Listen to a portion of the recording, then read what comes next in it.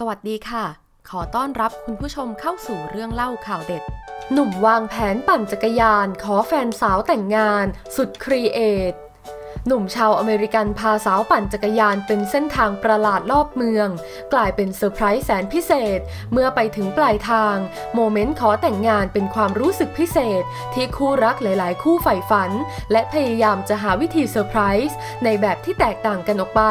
และคู่รักนักปั่นคู่นี้ก็เช่นกัน เมื่อทั้งสองเป็นนักปั่นจักรยานด้วยกัน ฝ่ายหนุ่มเลยคิดวิธีเซอร์ไพรส์ขอแต่งงานแฟนสาว ในแบบที่แสนครีเอทีฟได้ใจไปเต็ม ๆ เว็บไซต์ Fox News รายงานเรื่องนี้ว่า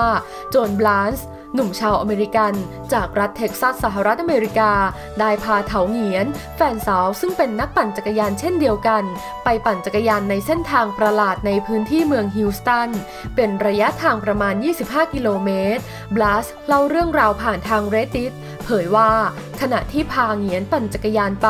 เธอก็รู้สึกสับสน และเริ่มที่จะหงุดหงิด เนื่องจากเป็นเส้นทางที่วกไปวนมา แต่เธอก็พยายามปั่นตามไปเรื่อยๆ จนกระทั่งไปถึงจุดสิ้นสุด ความจริงที่แสนเซอร์ไพรส์ได้บังเกิดขึ้นบลัสลงไปคุกเข่าขอเหงียนแต่งงาน โดยโชว์เส้นทางการปั่นจักรยานแสดงให้เธอดูว่า เป็นคำว่า Marry me แต่งงานกับผมนะ ยาวติดกันบนแผนที่ จากที่เหงียนรู้สึกหงุดหงิด เปลี่ยนเป็นความเซอร์ไพรส์และตกใจแบบสุดๆ ไม่คิดว่าแฟนหนุ่มจะใช้วิธีนี้ขอเธอแต่งงาน และแน่นอนเธอ Say Yes บลัสในระหว่างทางปั่นจักรยาน สร้างเส้นทางเซอร์ไพรส์แฟนสาวนั้น โชคดีที่เหงียนไม่ได้สงสัยถามอะไรมากมาย แม้จะรู้สึกหงุดหงิดบ้างเล็กน้อยก็ตาม เธอเป็นผู้หญิงที่เยี่ยมเลย ผมรู้สึกโชคดีมากๆบลัสกล่าว